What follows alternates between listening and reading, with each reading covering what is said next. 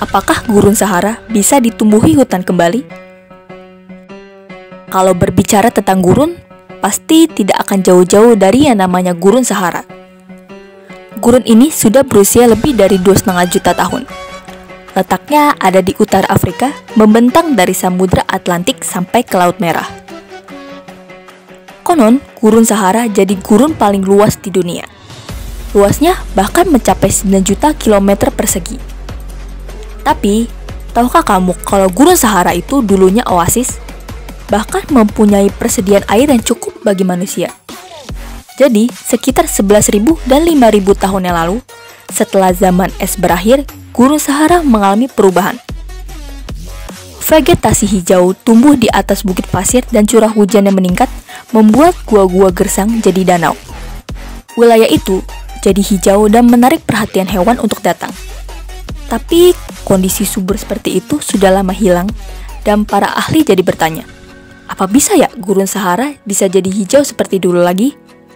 Sebagian besar ahli percaya kalau itu bisa terjadi. Green Sahara, atau dikenal sebagai African Humid Period, disebabkan oleh rotasi orbit bumi yang terus berubah di sekitar porosnya. Pola yang berulang setiap 23.000 tahun. Karena sebuah wildcard, yaitu emisi gas rumah kaca akibat ulah manusia, menyebabkan perubahan iklim. Tidak ada kejelasan kapan Sahara yang saat ini bisa berubah jadi hijau seperti dulu kala lagi. Hilangnya hijau gurun Sahara terjadi karena kemiringan bumi berubah. Sekitar 8000 tahun lalu, kemiringan mulai bergerak dari sekitar 24,1 derajat jadi 2,5 derajat pada hari ini. Variasi kemiringan itu membuat perbedaan besar. Sekarang, belahan bumi utara paling dekat dengan matahari selama musim dingin.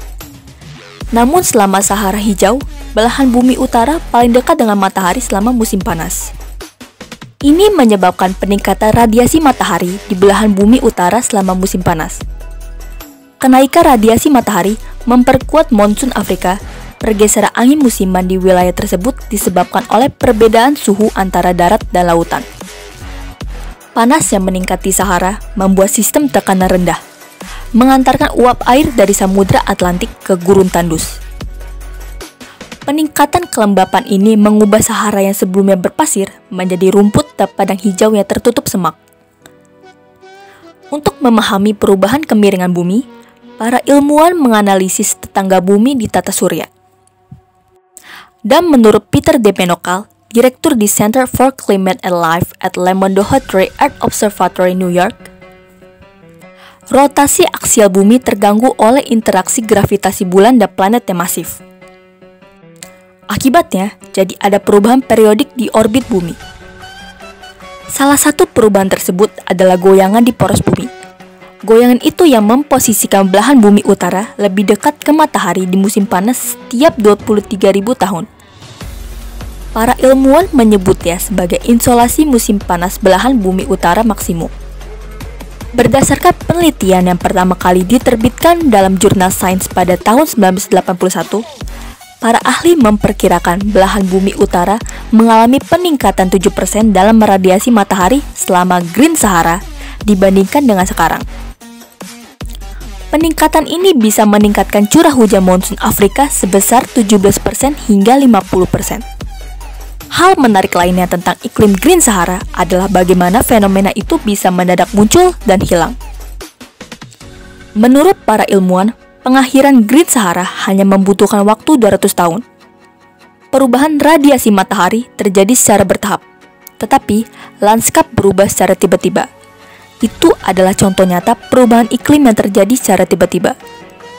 Green Sahara diperkirakan dapat muncul kembali sekitar 10.000 tahun dari sekarang. Akan tetapi yang tidak bisa diprediksi adalah bagaimana gas rumah kaca akan memengaruhi siklus iklim alami ini. Sementara itu, ada cara lain untuk mengubah sebagian Sahara menjadi lanskap hijau. Menurut penelitian tahun 2018 yang diterbitkan dalam jurnal Science, jika pembangkit tenaga surya dan angin secara masif dipasang di sana, curah hujan dapat meningkat di Sahara dan wilayah sekitarnya. Peningkatan curah hujan dapat menyebabkan pertumbuhan vegetasi, menciptakan umpan balik yang positif.